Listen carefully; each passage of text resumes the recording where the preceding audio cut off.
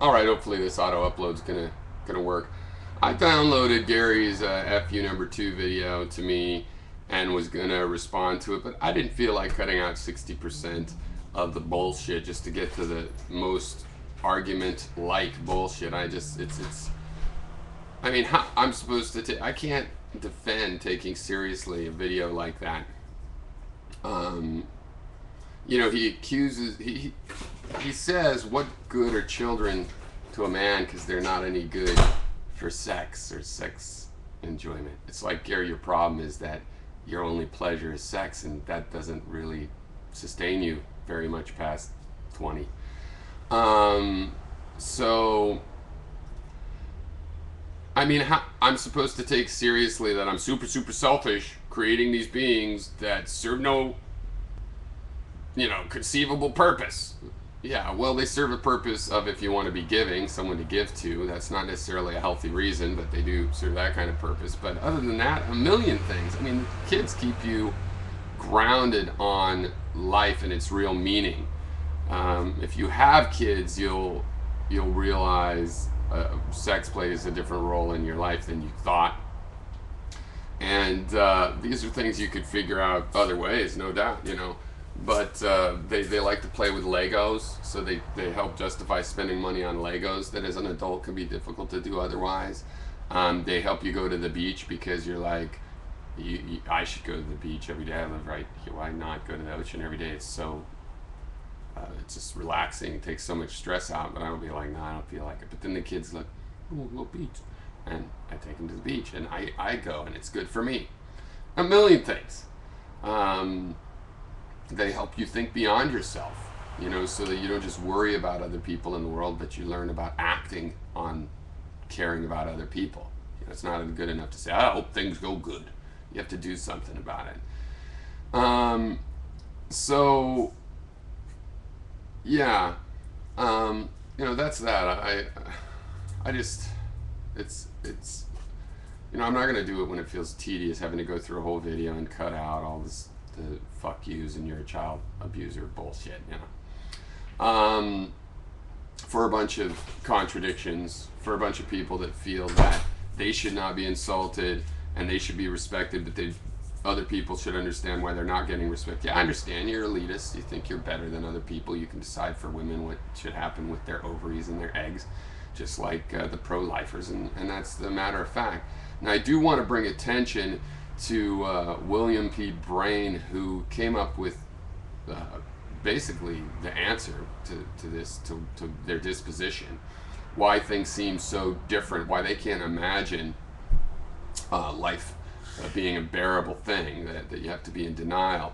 And it, it has to do with, there's been some studies. Um, uh, I'll link to the video he no i'll link to william p brane's video and you can get the, the link to the video he talks about there. But basically there's a study of people getting electric shocks from someone in another room. Uh, one group is told that the person doesn't know they're shocking person they've just been told to press a button.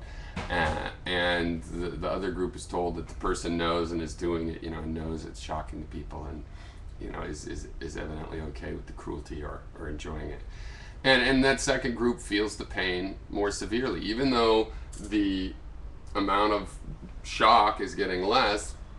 No, no, I'm sorry. The shock is getting, you know, regular. So the control group um, feels it is less and less because they're getting accustomed to it.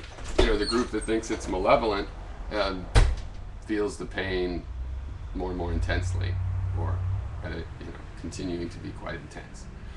And so, um, you know, what you think about the intentions of your tormentors changes how you feel pain. So when someone like Metamorph says, you know, he, he, he talks about, we're not talking about minor things, but then he, he talks about these pinprick theory, um, you know, that any suffering, and it's like, well, yeah, because if you view the suffering as intentional and unjust, which they go to great lengths, I mean, Gary tries to act like I'm intentionally causing Gary suffering. Doesn't logically, physically make sense, but by pushing that view onto themselves, every little disturbance if your you know milk is a little bit gone a little bit too bad for your cereal i mean that's becomes an intense pain because the whole thing was unjust So I think that's a, a good uh, final. Nothing's ever final in these conversations. It's really rather milestones, and some milestones are, let's say, more final than others. Um, I think that's a pretty basic milestone on this.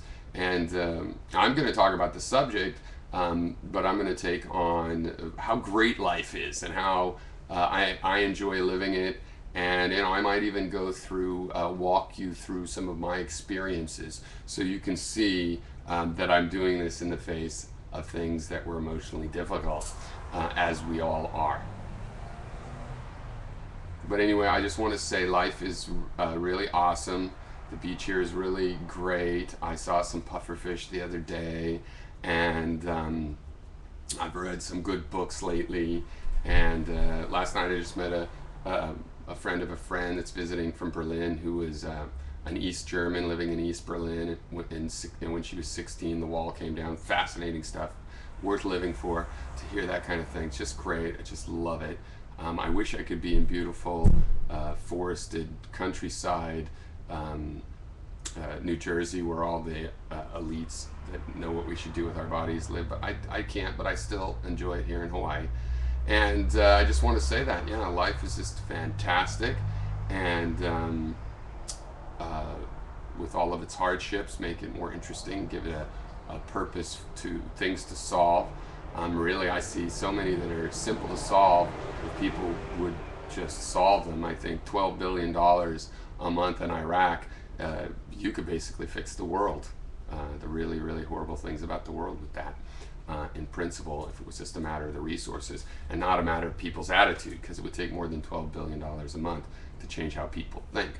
Um, but if people uh, figure out how to think, $12 billion, well, that goes quite a long way. And um, so, yeah, life's great.